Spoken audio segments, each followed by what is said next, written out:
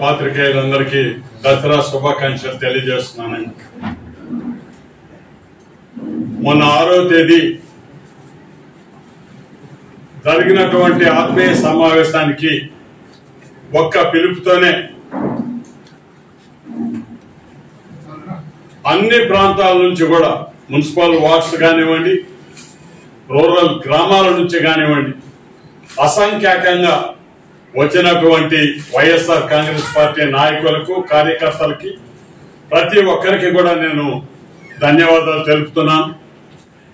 మరి అదేవిధంగా మీరు చూపించినటువంటి ఆ స్ఫూర్తి ఆ కార్యదక్షత ఇవన్నీ కూడా నాకు ఎంతో స్ఫూర్తిదాయకంగా ఉండి మీ అందరితో కలిసి నా వంతు కృషి నేను పార్టీ అభివృద్ధి కొరకు ఈ రూరల్ నియోజకవర్గంలో పనిచేయడానికి సాధ్యమైనంత మేర నేను కృషి చేస్తానని చెప్పి కూడా సోదరి సోదరులు అందరికి కూడా నేను మనవి చేస్తున్నా.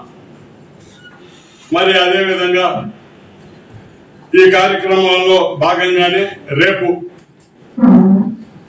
మన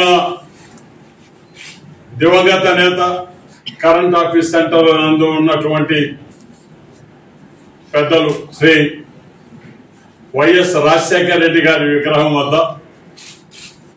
వారికి అంజలి ఘటించి భవన నిర్మాణ కార్మికులు ఎవరైతే దాదాపు మూడు నెలలుగా ఎటువంటి పనులు లేకుండా ప్రభుత్వం విధానం ఒకటి అని చెప్పే విధంగా ఉన్నటువంటి ఆ ఇసుక ఉచిత ఇసుక. దాని విధానాల మీద ఒక స్పష్టత లేకపోగా ఎవరికి కూడా అందుబాటులో లేని ఇసుక సమస్య పనులు లేక కార్మికులు అందరూ కూడా పడుతున్నటువంటి ఇబ్బందులకి వారికి సంఘీభావం తెలిపేటటువంటి కార్యక్రమం కూడా రేపు ఉదయం పది గంటల ప్రాంతంలో అక్కడ జరుగుతుంది. దానికి కూడా వైఎస్ఆర్సిపి కార్యకర్తలు నాయకులందరూ కూడా పార్టీ శ్రేణులందరూ కూడా పెద్దలు రాజశేఖర రెడ్డి గారి విగ్రహం వద్దకి నెల్లూరు రూరల్ నియోజకవర్గ పరిధిలో అందరూ కూడా రావాల్సిందిగా వారిని ఆహ్వానిస్తున్నాను గౌరవ జిల్లా అధ్యక్షులు సోదరులు కాకాని గోవర్ధన్ రెడ్డి గారు కూడా ఈ కార్యక్రమంలో పాల్గొంటారని చెప్పి నేను మనవి చేస్తున్నాను మరి అదే విధంగా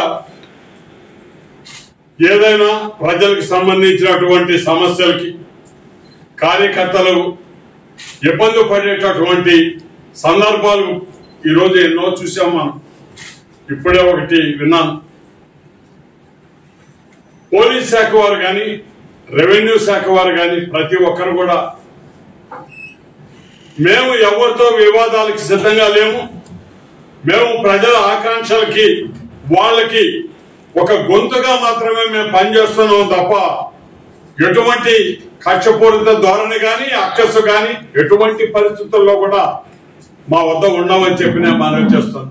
మరి అధికారులందరూ కూడా మంచి మనసుతో న్యాయబద్ధమైనటువంటి ఏదైనా ఒక కార్యక్రమాన్ని మేము మీ దగ్గర తీసుకున్నప్పుడు దయచేసి సానుకూలంగా ఆ వాస్తవ పరిస్థితుల్ని మీరు దృష్టిలోకి తీసుకొని న్యాయం చేస్తారని చేయాలని కూడా మేము ఆశిస్తున్నామని కూడా అందరి అధికారులకు కూడా ఈ పత్రికా ముఖంగా ఈ సందర్భంగా నేను మనవి చేస్తా ఉన్నాను అంగీకరించాల్సిందే దాన్ని సరి చేసుకొని పోవాల్సిందే.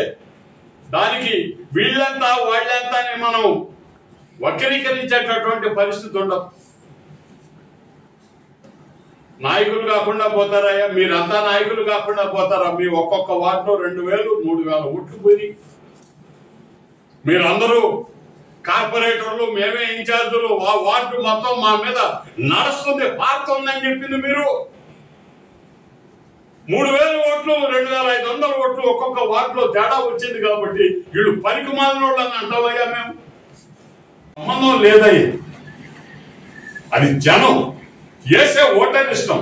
కృషి చేయటం మన వంతు అది మనం చేసాం ఒక్కోసారి కాలం కలిసి రాకపోతే తీర్పు వేరేగా వస్తుంది. కానీ ఇన్ని గ్రామాల్లో కూడా మీరు చెప్తున్నారు. నా గ్రామంలో కూడా నాకు మెజారిటీ రాలేదండి. విచిత్రమైన పరిస్థితి అని అనుకోవటంలా నేను ప్రజల నిర్ణయం అది. జగన్మోహన్ రెడ్డి గారి ప్రభుత్వం లేదండి ఈ రోజు ప్రజల నిర్ణయానికి వ్యతిరేకంగా గెలవలేకపోయింది అట్లని నాయకుడు కాదంటావా? ఇప్పుడు అదే లెక్కన మమ్మల్ని అందరినీ మీరు నాయకులం కావున పల్లెటూళ్ళ గ్రామాల్లో అందుబాటు ఉన్నాం అందరం గ్రామాల్లో ఉన్నారు ఇక్కడ. ప్రాణం పెట్టి ఎలక్షన్ చేశారండి వాతావరణం అనుకూలించకపోతే ప్రతి గ్రామంలో వంద యాభై ఓట్ల తేడా మాత్రమే. అన్నానని అది వేరే సీరియస్ స్క్రిప్ట్. మరి అదేదో దాని ప్రకారం మాట్లాడుంటే నేనేమనుకోను కావాలని కూర్చోబెట్టారు సురేష్ మావాడు కాబట్టి. అయినా పర్వాలా? కూర్చున్న ముందు కూడా కూర్చున్న తర్వాతైనా ఒకటి నీ మనసుకు రావాలి సురేష. రాజీనామా చేసిపోయింటే ఇంకా మగోడాలు ఉండుండవా అనే మాట రావాలి నీకు. ఆలోచన వచ్చి ఉండాలి చాలా బాగుంది. మా సురేష్ బ్రహ్మాండం ఉండేదే అని చెప్పుకోవాలి మేమందరం మా పిల్లకాయలు తయారు కానీ మేము కూడా ఏ రోజు కూడా ఎటువంటి ఒకటే చేస్తున్నాను తమ్ముడా నా అన్న మంత్రి. ఇంకెందుకంటే ఏం చెప్పాలబ్బా? ఎవరా కొట్టాను నన్ను? విలువ నైతిక విలువ ఉంది. ధర్మం అనేది ఒకటి ఉంది. ఒక నాయకుడు మనల్ని నమ్మితే ప్రాణం ఇస్తామే తప్ప ఇటువంటి లోపాయికారి పనులు చేసి నేను మళ్ళీ ఆనం వ్యవస్థలో ఒక సభ్యుడిగా మా ఇంటి దగ్గరకు పోను. పోయే పరిస్థితే లేదు. ఏ రోజు పైన గర్వంగా తలెత్తుకొని మా ఏసీ సెంటర్లో కూర్చుంటానే తప్ప ఇటువంటి లోపాయికారి పనులు చేయనండి. నేను కూడా కొత్త అవసరమైతే శ్రీధర్ రెడ్డి గారికి వైఎస్ఆర్ నాయకుడిగానే. అయ్యా నాకు ఈ పని కావాల్సి నీ చేత అయితే చేసి చేసి పెట్టి శ్రీధర్ రెడ్డి. తప్పులా? కానీ అయ్యో జడ్పీ జడ్పీలో మాకు ఈ సమస్య ఉంది మంత్రిగా మీరు దీన్ని పరిష్కరించండి అని గౌరవంగా మర్యాదగా అడుగుతామే తప్ప పవన్ కళ్యాణ్ గారు ఆయన ముందు ఆ కండువా తీసేసి మా కండువా వేసుకొని ఇస్తే పని చేస్తానంటాడే? ఎందుకంటారండి అందరయ్య ఎవరు అనరు మీకు గాని ఈ వీడియో నచ్చితే లైక్ చేయండి షేర్ చేయండి సబ్స్క్రైబ్ చేయండి మరిన్ని వీడియోల కోసం గంట సింబల్ని ట్యాప్ చేయండి.